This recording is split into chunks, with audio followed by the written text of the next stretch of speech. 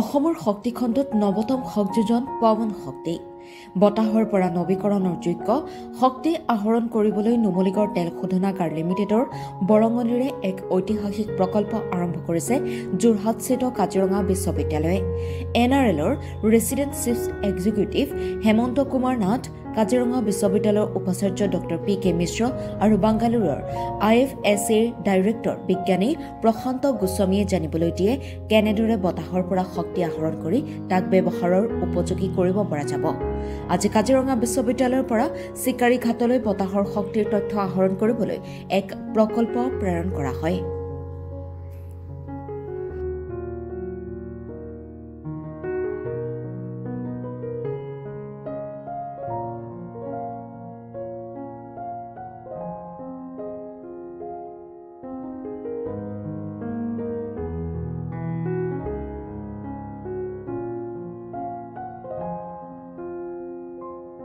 এটা ঐতিহাসিক ক্ষণ আমাৰ অসমত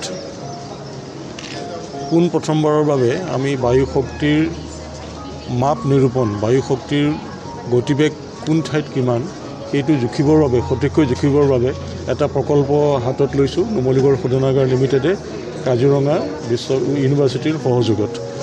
আৰু এই প্ৰকল্পটোৰ পৰা যিখিনি আমি ডাটা পাম সেই ডাটাখিনিৰ ওপৰত নিৰ্ভৰ কৰি আমাৰ বায়ু শক্তিৰ পৰা যেনেকৈ উইণ্ড মিল আমি ইলেক্ট্ৰিচিটি জেনেৰেশ্যন জেনেৰেট কৰিবৰ কাৰণে কোন কোন ঠাইত আমাৰ তাৰ ভাইবিলিটিটো থাকিব কোন কোন ঠাইত আমাৰ তাৰ আমি সফল হ'ব পাৰিম সেই ডাটা এই ডাটাবিলাকৰ পৰা আমি সেই বিষয়ে আমাৰ ধাৰণাটো হ'ব আৰু সেইমতে আমাৰ পিছৰ পদক্ষেপত আগবাঢ়ি যাম।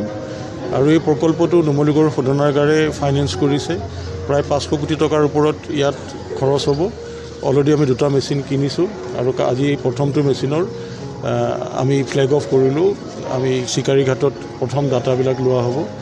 আৰু বৰ্তমানৰ গোটেই পাৰিপাৰ্শ্বিকতাৰ দিশৰ পৰা চাব গ'লে যে ফচিল ফুৱেলৰ ব্যৱহাৰটো লাহে লাহে আমি কমাই আনিব লাগিব কিয়নো আমাৰ প্ৰদূষণৰ মাত্ৰাটো পৃথিৱীত লাহে লাহে বাঢ়ি আহিছে।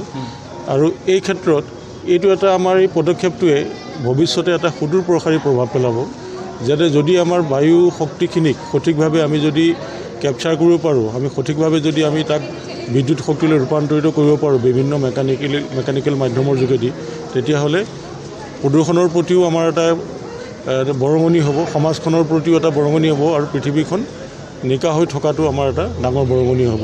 সেয়েহে আজিৰ ক্ষণটো মই ঐতিহাসিক বুলি কৈছোঁ আমাৰ কাৰণে অসমৰ কাৰণে তথা গোটেই ভাৰতবৰ্ষৰ কাৰণে। ধন্যবাদ। ইউনিভাৰ্চিটিৰ ফালৰ পৰা স্বাগতম জনাইছোঁ। আজি এই শুভ মুহূৰ্তত আমি আমাৰ প্ৰথম যিটো লাইডাৰ যিটোৱে অসমত প্ৰথমবাৰৰ বাবে উচ্চ স্তৰত পৱন শক্তিৰ পৰিমাপ কৰিব সেইটো আমি এতিয়া ফ্লেগ অফ কৰিলোঁ। Shri Nath chief resident executive of N R L আৰু Shri Hazarika from N R L they have flag it off this project aims to for the first time measure wind energy potential in Assam at different levels ইয়াৰ আগৰ যিবোৰ measurement হৈছিল